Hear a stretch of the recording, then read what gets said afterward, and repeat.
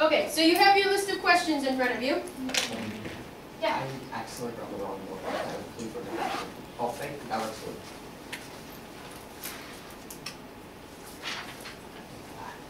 Lucky for you, I have a few extras. Okay, so remember I told you I was going to bring in guest speakers to talk about their careers and their jobs and what they do.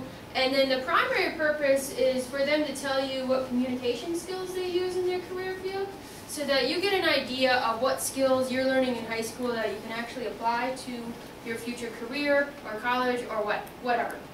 So Amber, over, has the privilege of being our first guest speaker. Amber works down at the Tyler Tribute um, in advertising.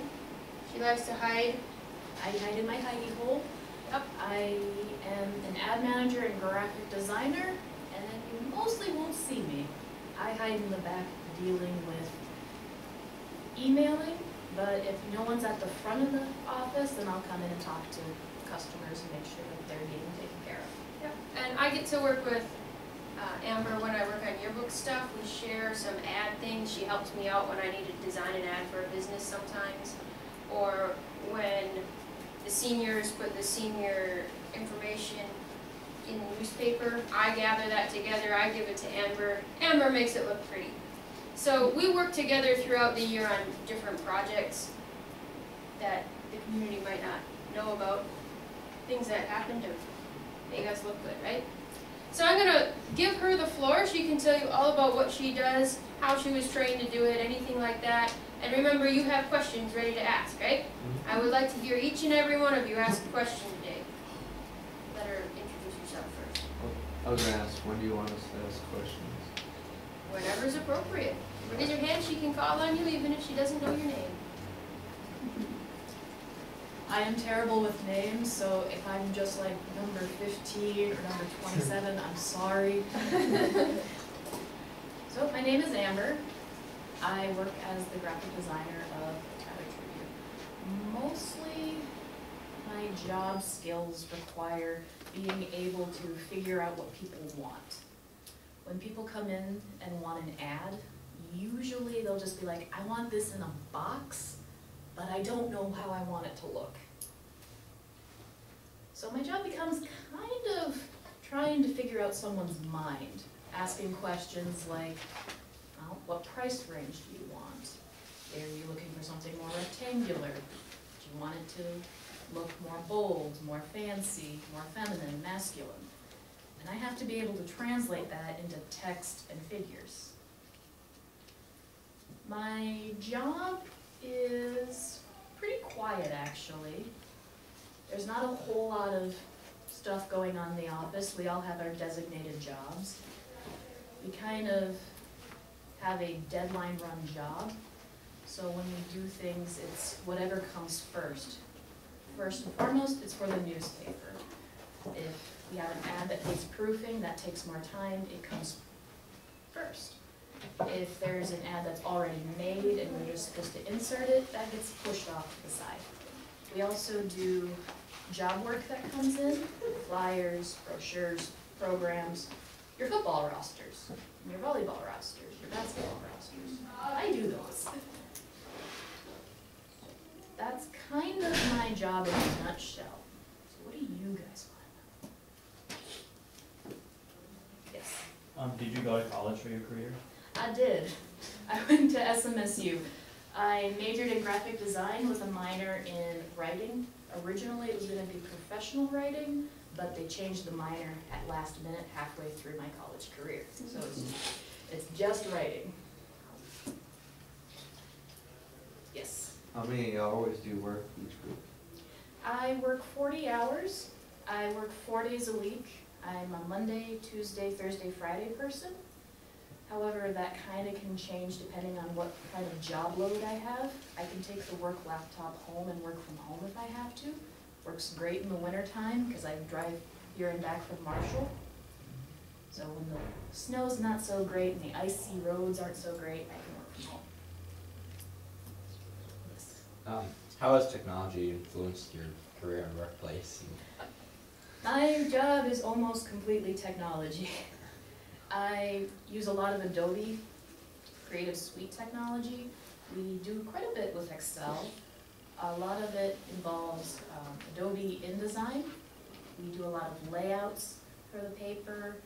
We use Microsoft Word, and some people actually make ads in Microsoft Word, kudos to them. I don't know how they manage to make the ads look as good as they do. Um, let's see. we do a lot of stuff over the computer. We do need access to the internet, so internet's actually very important to my job. Um, a good quality computer is very important to my job. High processing power makes for a lot, a lot easier job. If the work laptop's hardware fails, like it has recently, it's my job to go make sure that that laptop goes and gets fixed in a timely manner. Um, we communicate a lot via email. Um, sometimes we actually communicate with Facebook, um, text messaging, and when people just come in and walk into the office. So my job really does involve technology and being able to use it well. Yes. Was this your first job or did you work somewhere else before you started here? My first job was in high school. I worked at an Ace Hardware. It actually was a pretty decent job. The coworkers were really nice. Customers were hit and miss. Um, but that did take, it did teach me how to be able to communicate with even the most difficult of customers and sometimes the most creepy of customers. But being able to successfully talk to someone who's really making you nervous and uncomfortable is very important. Being able to distinguish professional communication and what personally makes you uncomfortable. After that, I went to college and I worked at an Arby's for a little bit. I worked on campus cleaning dorms. Um, before I started at the Tyler Tribute, I actually worked at Shopko. Yes, Um, are communicating skills important to you? absolutely. I have to be able to translate people's thoughts and ideas into actual print. Being able to talk to people is very important, even if you're not comfortable being able to make that conversation. I was gonna ask, how are you able to communicate? How to, um, can you clarify the question? Like, um, how are you able to, um, clearly understand people's thoughts? practice and actually a lot of nonverbal communication. When people walk in, you have to be able to look at them and be like, okay, this person is, you have to profile unfortunately. If an older person walks in, they're probably not gonna want something with text language on it. They'll want something with proper sentence structure, something that looks nicer, something less modern, more traditional. If a twenty-year-old walks in and they hand you a sheet of paper that has nothing but text lingo and emojis on it, you need to be able to translate that into a good ad or a good flyer, a good brochure. It's looking at them, listening to them, seeing how they respond to certain ideas, and being able to translate that into something in print. I joke with my boss that my job was twenty percent psychic ability.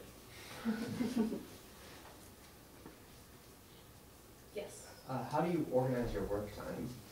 My work time gets determined by the deadline. Our deadlines are for ads noon on Fridays, so ads need to be done by noon on Fridays. Of course, not everyone understands that we have a deadline, so ads come in last minute, we have to be able to get those filtered in. Job work comes, that has to get filtered in, and most people want their brochures and flyers done as soon as possible. So you have to be able to navigate your workload into what comes first.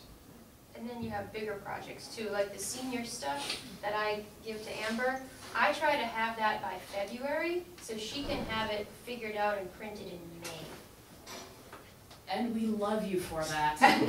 Giving us that kind of time really helps, because a lot of bigger projects, the Late Lake Benton Visitors Guide, are Christmas editions, our second sections, our ag issue, all of those need to be factored in and what kind of timeline do we need? We need to sell ads for them, we need to make ads for them, we need the ads approved by the clients.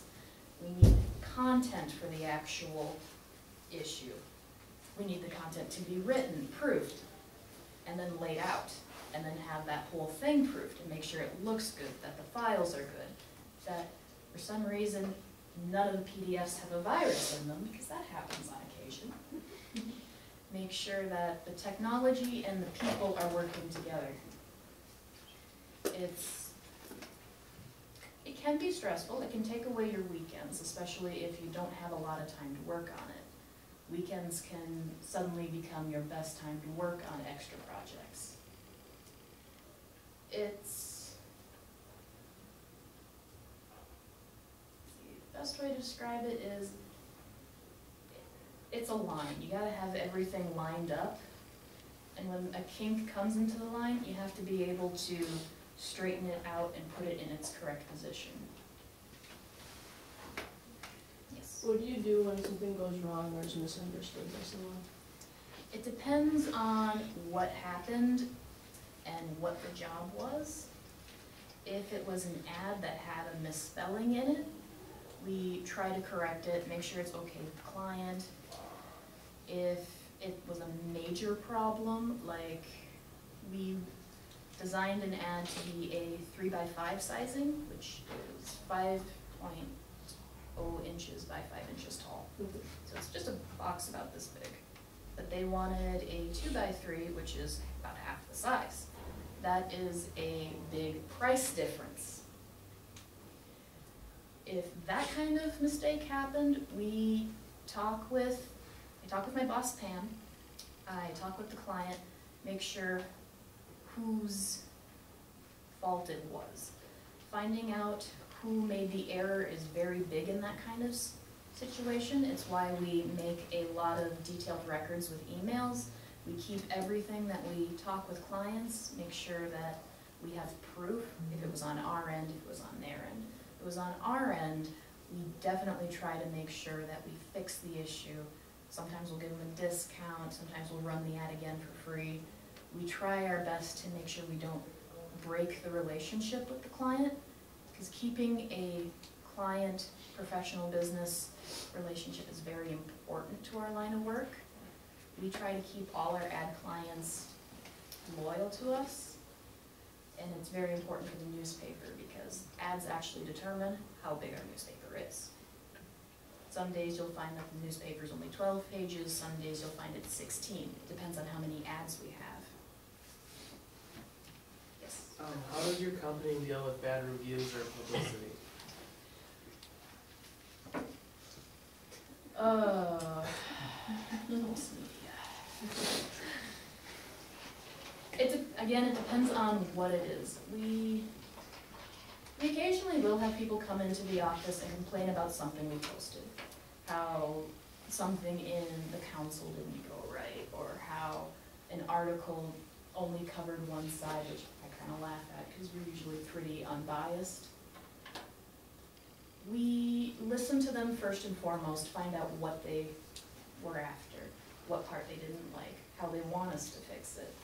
If it was something wrong with the article that said, you know, it said Tuesday the fourth, but it was actually supposed to be Wednesday the fifth, we will make a correction in the newspaper. We'll put a little blurb in there saying, correction, this article was wrong, here's the corrected info. And we'll do that for free and just make sure that they can see it if people just come in and are just having a heyday with their words, we'll sit and listen to them. We'll apologize. We'll try to make sure that we don't break the client professional relationship. We are very determined to make sure that we don't overcross that line, that we keep people happy, that we keep our readers happy. Because if we can keep all those people happy, our newspapers can survive. Um, what do you consider the most valuable thing that you've learned in high school and in college that you've brought onto your? Separately, most valuable thing I learned in high school was to avoid drama. The most impressive things that I guess I learned in college was time management, stress management, and a few odd classes too that were really good. Intro to justice, if you've never taken it, I suggest taking it. It's good knowing what your rights are. Uh, time management is extremely important in almost anything you do, especially in college. You'll probably have five classes, maybe some clubs, and you're gonna wanna hang out with your friends. How do you shuffle those around in a good order to make sure that you pass your classes, hang out with your friends, and still do good in your club activities? Other things that I found valuable in college was I took an interpersonal, interpersonal communications class. And that was really useful because it taught people skills. How do I talk to someone on a personal level versus how do I talk to someone on a family level versus how do I talk to someone that I just met? Being able to distinguish those types of communication are really important. You don't wanna talk to your teacher in the same way you talk to your brother or your sister or the stranger down the street being able to make those kind of subtle adjustments to your tone, to your language is very important. Do you ever travel like out of South, like out of Southwest Minnesota? Um, only when I'm going home. For the most part, our newspaper, which is the Tyler Tribute and the Buffalo Ridge, Buffalo Ridge newspapers, which consist of Tyler Tribute, Lake Benton Valley Journal, and the Hendricks Pioneer, we mostly stay in that localized area. We are a local newspaper, so we try to keep our news local. We try not to go into world events in our local articles unless it's a column. But for the most part, my job does not require a lot of travel unless I'm helping Mark or helping Michelle or helping Sandy with an article or they ask me, hey, can you go quick take a picture of the Kronborg Inn? It's on fire. Which is not. It's not. It was an electrical issue, it was handled. For some gasps there. Uh, yes, How do you price your services? I have no say over what our prices are. Our prices are determined by our billing department and my boss Pam.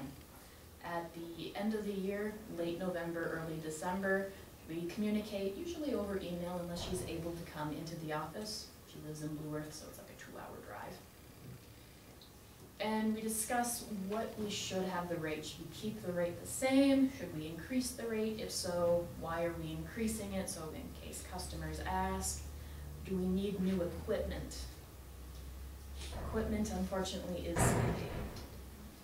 You've got the laptops, you got the copiers, you got copiers that are able to do print jobs, folding machines, because no one wants to fold two thousand brochures by hand.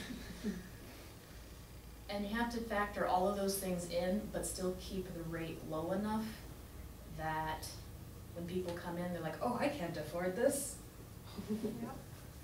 You have to be able to account for what the going rate is. Are we the cheapest rate in the area? What is the Marshall Independent charge? What is the Ivanhoe Times charge? How do we factor into what those rates are? Because it is a competition, unfortunately. Competitive rates are pretty important, especially when there's an event going on in the Tyler area and the Ivanhoe. Do they put their ad into our papers? Do they put it into Ivanhoe's papers? Do they, can they afford to put it in both? Um, but mostly when it comes to determining the price, it's mostly all on my boss. She has to be able to figure out all of these little math equations and be like, well, we're increasing it by ten cents. A lot of algebra and a little bit of sociology. Yes. So Lynn, with our generation coming up and with us growing up with technology, where do you think newspapers are gonna go in about ten years? I think my job is gonna be mostly web-based. a lot of newspapers are opting for online editions, and physical papers are slowly but surely dying out. We are trying to hold on to the physical papers. We are trying to make sure that they don't die out. Recently, the Minnesota Newspaper Association had a bunch of us newspapers run a blank front page. Yeah. And the idea behind that was, what if this was gone? It had a lot of positive reviews, actually. A lot of people came into the office and said, wow, we liked that. I was expecting complaints. But a lot of people actually did like that, and that did strike chords with people. It's, think it's a lot easier to do job hunting when you have physical classifieds in front of you versus trying to find a job online. Especially for the old people. Especially for the older people that have to figure out how to read size nine font. yeah. But there is kind of a sense of tradition with newspapers too. Being able to actually have something physical in your hands sometimes means a lot more than just scrolling on your cell phone or surfing the web. Like, kind of like having books and how books haven't died out yet. Sometimes it's just better to have something in your hands and not have to worry about the harshness on your eyes. Yes, Um, what makes a good business or company? a great boss and good employees. That is first and foremost. If you have a great boss, you are going to want to work there for them. If you have a boss that drives you up the wall and you can't see eye to eye with, you're gonna start wanting to look for other places of employment. With employees, you wanna be able to have a good professional relationship with your coworkers. If for some reason you and your coworker can't see eye to eye, no matter how hard you try, you're gonna wanna look for a different place of employment. So having a good place that is safe, that is comfortable to be in is very important for a good company, because if they can't keep employees, they can't function that well.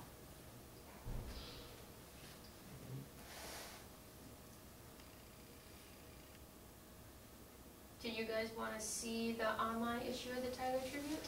Sure. We can pull that up. Sure. Yeah, I'll just project it behind you. You keep talking, I'll get that up. Some of you haven't asked questions yet, so have at it.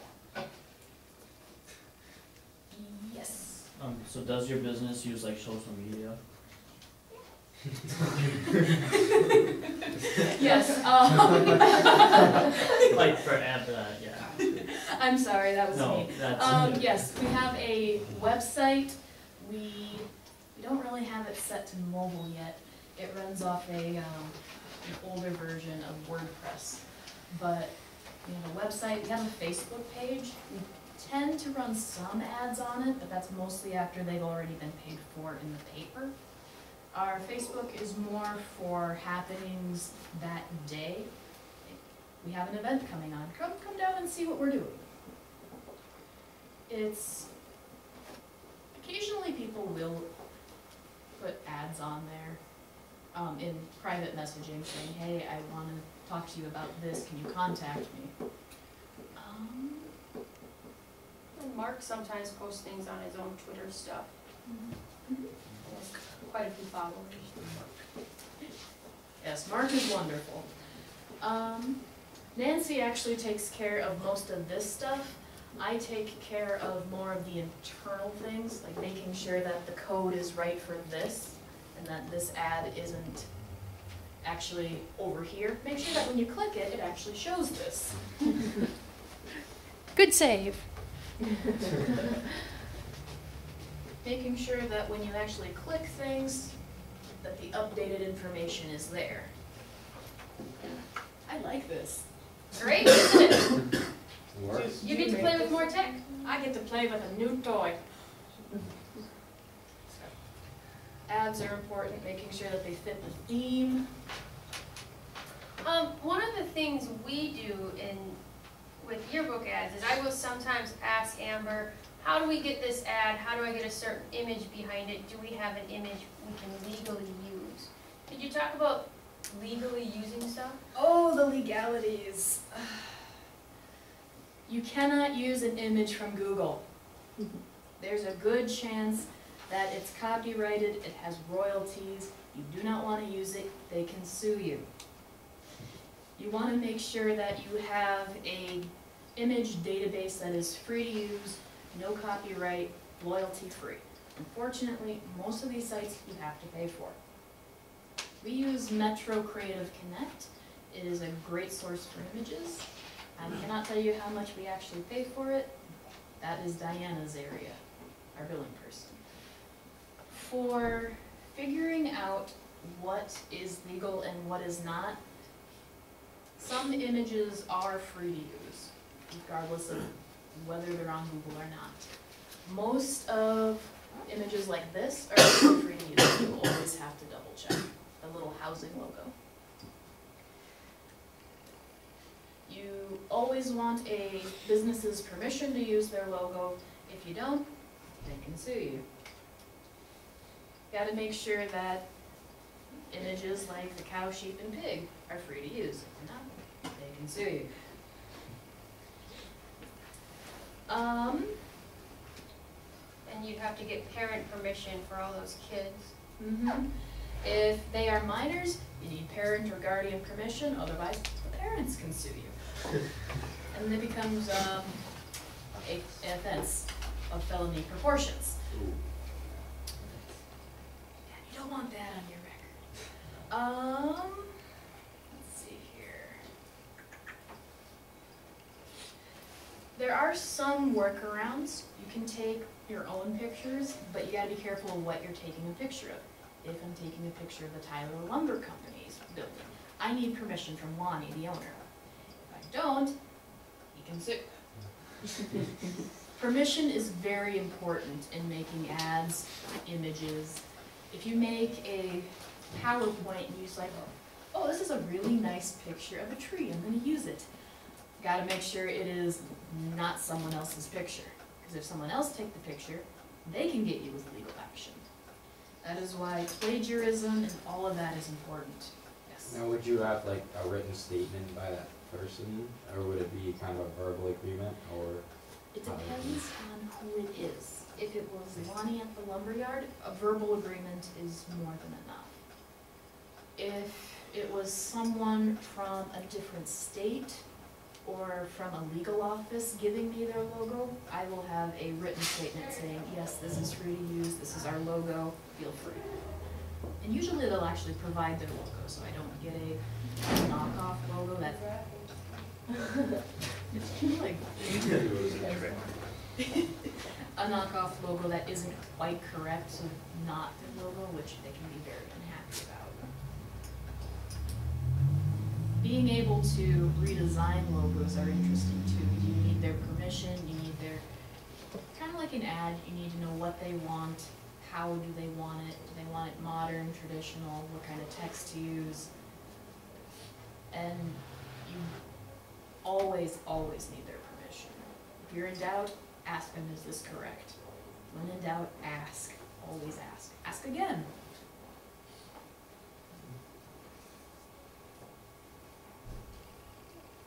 We have a little under ten minutes left with Amber, so some of you have yet to ask questions.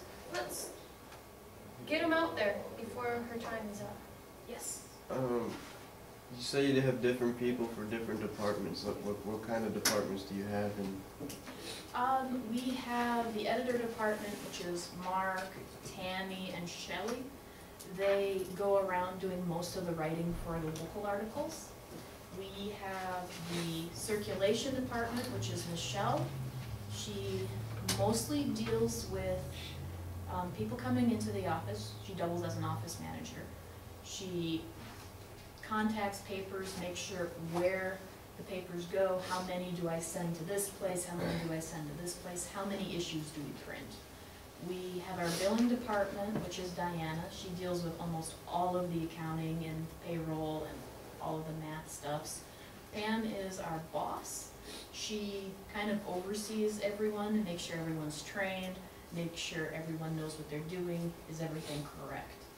Um, her husband Chuck is the co-owner of the Buffalo Ridge newspapers. He is our publisher. If we have any legal questions, we bring it up to him. If there are any legal questions, he'll talk to his lawyer and make sure everything is said, that we're not breaking any laws. We have We have our photo department, which is Sandy. She takes care of most images. Um, these were actually not Sandy. Um, Sandy makes sure that images like this are clear, that they look nice, that they're cropped correctly. She also deals with um, obituaries when they come in and making sure that the pictures line up with them. And then we have Nancy, who is an ad salesman, and we also have Bonnie, who's an ad salesman. Um, Bonnie is mostly just an ad salesman and a office manager of the Hendricks paper. Nancy is an ad salesman and office manager of the Lake Benton paper. Those are kind of our departments. There's not too many of us, but a small concise group actually works really well together. And we're all a little weird. Yes, Have you ever talked in front of a class or a group of people before? you're my firsts. Oh, you're doing a great job. Thank you. It's, talking in front of groups are a li- always a little bit intimidating. You never know if anyone's gonna fall asleep and wonder how that reflects upon you. It's, I think it's- public speaking is one of those things that just never completely goes away with the uncomfortableness, but you learn to adapt to it too. And if people are receptive, that's great too. You guys are great. Uh, yes. Um, is your career salary based or hourly based hourly based. Um, a lot of, I think Mark's is salary based, but for, um, the graphic design and ad manager, circulation desk, actually, I think everyone other than the editors are hourly based. The editors are, I'm pretty sure are salary based. So Yes. do they pay on weekends then, when you like do that overtime? We, we try not to go into overtime, but stuff happens. Programs come in that need to be printed. We can work weekends though. We all have keys to the office so that if we really wanted to, we could actually just go into the office and use the setup there. Um, Isn't it more of an issue of just keeping track of your time, whenever that time happens to be? Yes, um, we have time cards that we write in our hours. And it's, it's always fun trying to make sure that you stay under your hours. But stuff happens, weekends happen. Christmas editions happen.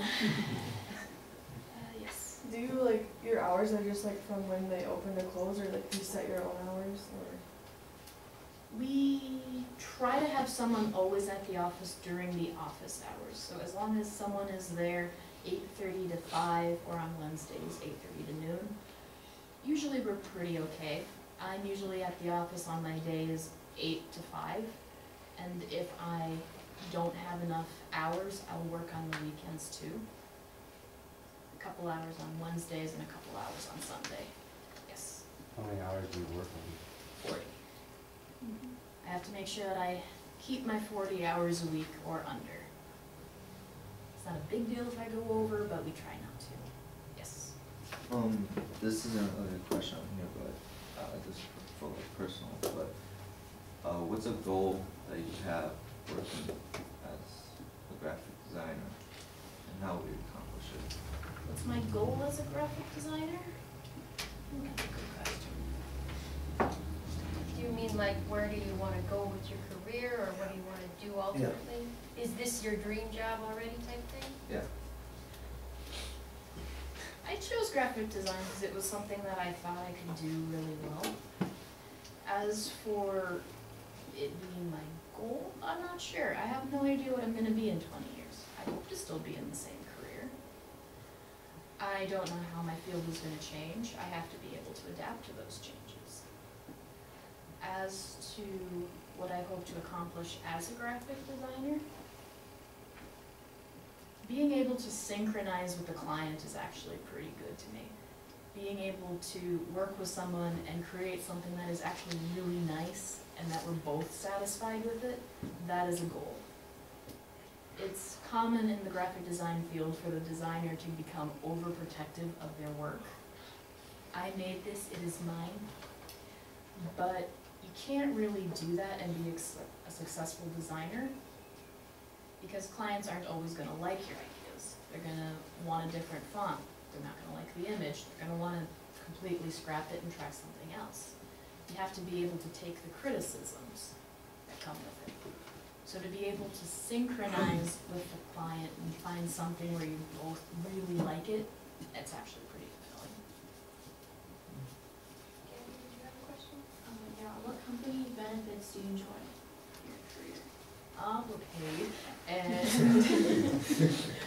we, we do have some health benefits. Um, can get, uh, dental, short-term disability slash maternity, um, health, dental. Benefits are always a little interesting because they come out of your paycheck too, so. Are there perks for your specific job though? Do you get to meet people you wouldn't have met otherwise? I, I think so. People come in to talk to Mark and Mark will usually direct them towards me, so I'll get to meet some pretty interesting people. I'm the CEO of a wind turbine company. That was fun working with them, by the way. Yes, So you don't get holidays off or anything? we try. Um, for Labor Day, we're trying to make sure that we don't have to work Monday, that the office stays closed. But we'll have to make up Monday's work. So the reason why I can't stick around for the rest of the classes is because our normal Friday deadline is today at noon. So all of Monday's work is being pushed on today and tomorrow, and we have several things we need to submit to our printers tomorrow. So to have a day off means more work before. What's on vacation then? It's, it's kinda nice having the extra day. The, the extra stress is nice having the extra day to sleep in. Okay, if you could, if you could leave these guys with a closing thought, something you want them to know or understand, we can close it up there. Hmm. That's a good one. That is a good one. That's a stay in school. Don't do drugs. Wow. Wow. It's so clear now. Don't back up, Dave. Grades are as only as good as your ability to perform the subject. If you get straight A's, that's great, but if you can't do the job that requires those, you might not get hired. So being able to be competent at your work is almost more important than what grades you get. You always want good grades because they get you into the door. But an employer will definitely be able to see whether or not you're competent and whether or not you are a good fit for their job. Okay, let's give Amber a hand and thank you.